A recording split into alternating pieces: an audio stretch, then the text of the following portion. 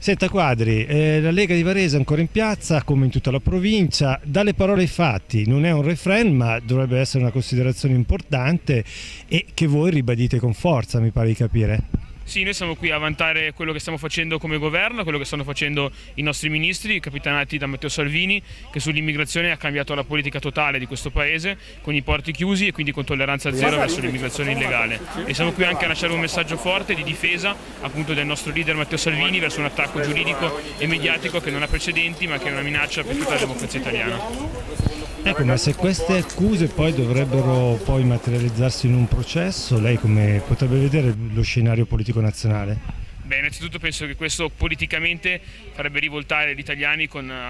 contro questi, a questo attacco e a supporto di Matteo Salvini, perché sarebbe un precedente gravissimo di un giudizio, un giudizio della magistratura su un'azione politica, non su un reato vero e proprio o su qualcosa che è giuridico, ma su un'azione che è prettamente politica, come dimostra anche la difesa che ha fatto il Presidente Conte di quanto fatto finora sull'immigrazione.